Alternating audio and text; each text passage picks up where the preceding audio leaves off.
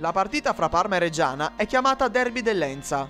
Il nome deriva dall'omonimo fiume, che costituisce il confine naturale fra queste due città, in lotta fin dal Medioevo per questioni di confine. E proprio Lenza fu oggetto di contesa durante la cosiddetta Guerra del Ponte, in cui parmigiani e reggiani si diedero battaglia per il controllo del fiume. La leggenda narra che i parmigiani abbiano menato talmente tanto i reggiani da far venir loro la testa quadrata.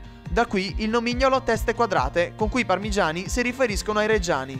I reggiani, a loro volta, sostengono di non essere stati da meno, ma di non aver potuto fare la testa quadrata ai parmigiani a causa dei pidocchi, che continuando a smussare gli angoli delle teste parmensi, le mantenevano rotonde.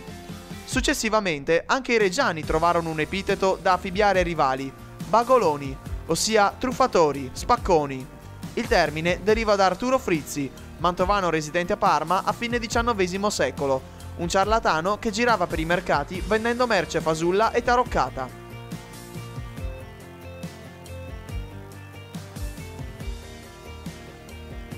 La prima sfida fra Parma e Reggiana avvenne nel 1919 nel campionato di promozione. A vincere furono i Granata per 2 a 1. Ci furono poi varie sfide, sempre nei campionati inferiori, negli anni 30 e 40, ma la rivalità esplose definitivamente negli anni 50. Il 22 marzo 1953 Parma e Reggiana, in Serie C, si sfidarono nel derby di ritorno al Tardini. A vincere, come all'andata, fu la Reggiana, nonostante fosse in zona retrocessione. Due giorni dopo, però, il Parma denunciò alla Lega una tentata corruzione da parte di un dirigente granata nei confronti del vicepresidente parmigiano Carrega, che avrebbe ricevuto un'offerta di 800.000 lire per lasciare la vittoria alla Reggiana. La sentenza del giudice sportivo, emessa il 9 aprile, inibì a vita da carichi federali e sociali il vicepresidente Granata Degola e soprattutto penalizzò di 20 punti la Reggiana, fatto che condannò definitivamente i Granata alla loro prima retrocessione in quarta serie. La Reggiana negò tutte le accuse, sostenendo che il Parma, nell'emissione della sentenza, fosse stato favorito dalla presenza nel Consiglio della Lega di Alberto Rognoni, consigliere contemporaneamente del Parma e appunto della Lega Calcio. In seguito a questo episodio vi fu un boicottaggio da parte dei reggiani di tutti i prodotti parmensi e venne addirittura minacciata una marcia su Parma. Il rapporto fra gli abitanti delle due città passò così da semplice rivalità a vero e proprio odio e disprezzo. Dopo la retrocessione della Reggiana, le due squadre si risfidarono sei anni dopo in Serie B, nel 1958-59. Rispetto al 53, le parti si erano invertite. La Reggiana era stabilmente in alta classifica, mentre il Parma galleggiava poco sopra la zona retrocessione.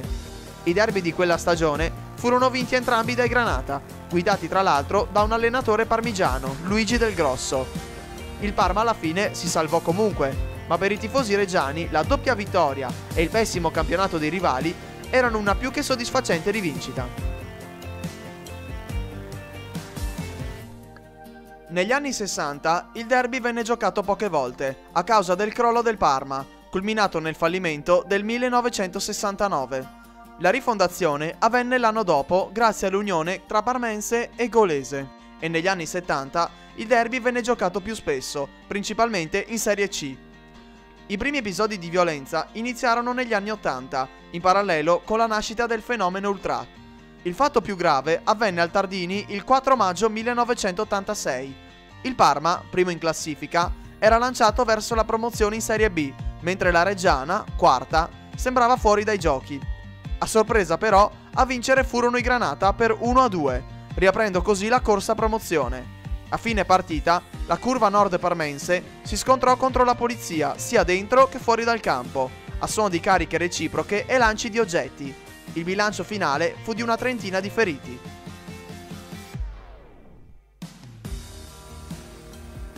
Il 27 maggio 1990 Parma e Reggiana si sfidarono alla penultima giornata di Serie B. Per il Parma era una partita decisiva, in caso di vittoria sarebbe stato promosso in Serie A per la prima volta nella sua storia. A differenza dell'86, il pronostico stavolta venne rispettato. La partita finì 2-0 grazie alle reti di Osio e Melli e a Parma esplose la festa.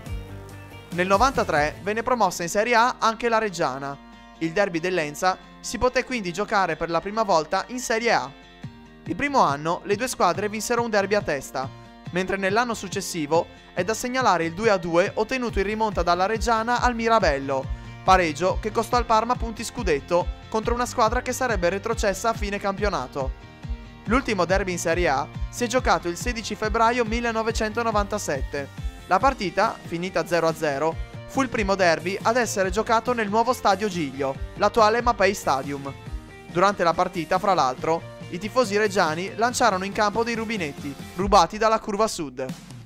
Dopo quella partita, per riassistere alla sfida fra Parma e Reggiana, si è dovuto attendere quasi 21 anni. Il derby, infatti, è tornato il 19 dicembre 2016 in Lega Pro Girone B ed è stato vinto in trasferta dal Parma per due reti a zero.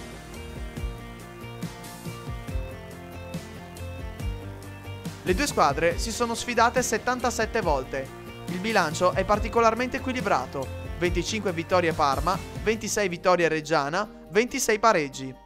Per il Parma, oltre al già citato derby promozione del 1990, è da ricordare l'1-3 del 1985, in cui i parmensi espugnarono il Mirabello dopo oltre 40 anni. I tifosi reggiani, oltre alla doppia vittoria del 58-59, ricordano con piacere lo 0-2 esterno del 1946, grazie al quale la Reggiana si qualificò per il girone finale di Serie C, scavalcando proprio il Parma all'ultima giornata.